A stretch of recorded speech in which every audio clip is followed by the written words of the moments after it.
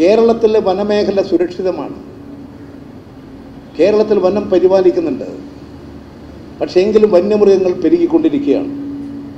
ഇവിടെ നടന്നു കണ്ടി കണ്ടിട്ടുള്ളൊരു സംഭവം നിങ്ങൾ ഓർക്കുന്നുണ്ടായിരിക്കും. ഇപ്പോൾ കോതമംഗലം താലൂക്ക് ആശുപത്രി. വന്യമൃഗം ആക്രമിച്ചു മരണപ്പെട്ടു. സാധാരണ മരണപ്പെട്ടാൽ പോസ്റ്റ്മോർട്ടം നടത്തണ്ടേ?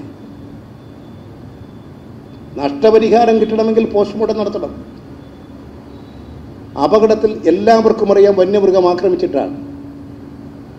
ആ വന്യമൃഗം ആക്രമിച്ച ആളെ പോസ്റ്റ്മോർട്ടം നടത്താൻ താലൂക്ക് ആശുപത്രിയിലേക്ക് കൊണ്ടുപോയപ്പോൾ എം എൽ എയും കോൺഗ്രസിന്റെ എറണാകുളം ഡി സി സി പ്രസിഡന്റും എല്ലാം കൂടി ചെന്ന് മോർച്ചറിയിൽ നിന്ന് ശവമെടുത്ത് പോകല്ലേ? ഒരു ശവശരീരത്തോട് മൃതദേഹത്തോട് എത്രമാത്രം അനാദരവാ കാണിച്ചത്?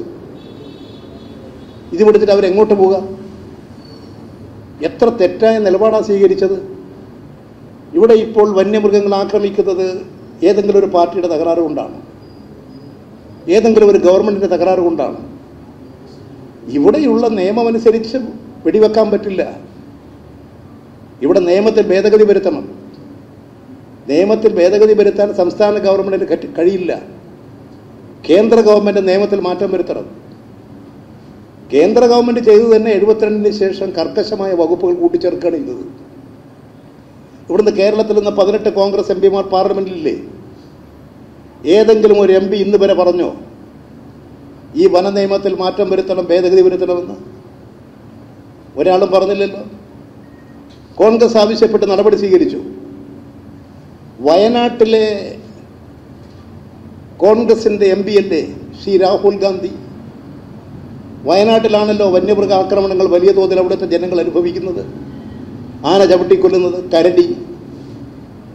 സുൽത്താൻ ബത്തേരിയിലെ ഞങ്ങളുടെ അവിടുത്തെ മുനിസിപ്പാലിറ്റിയുടെ ചെയർമാൻ ഉണ്ടായിരുന്നു സഹദേവൻ.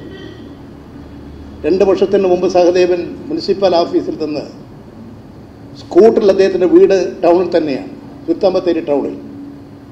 സ്കൂട്ടറും എടുത്തു പോകുന്ന അവസരത്തിൽ ഒരു പന്നി കുറുകെ ചാടി ഈ പകൽ നേരത്ത് പട്ടാപ്പകൽ നേരത്ത് ഉച്ചഭക്ഷണത്തിന് പോകുന്ന അവസരത്തിലാണ്. അതിൽ സഹദേവന് മാരകമായ പരിക്ക് പറ്റി എത്രയോ മാസക്കാലം കോഴിക്കോട് മെഡിക്കൽ കോളേജിലൊക്കെ ആയിരുന്നു ഇവിടെ നിലനിൽക്കുന്ന ഒരു നിയമമാണ്. ഈ നിയമം മാറ്റാൻ രാഹുൽ ഗാന്ധി എന്താ ചെയ്തത്? രാഹുൽ ഗാന്ധി വയനാടിന്റെ എം പി അല്ലേ? കോൺഗ്രസിന്റെ എം പി അല്ലേ?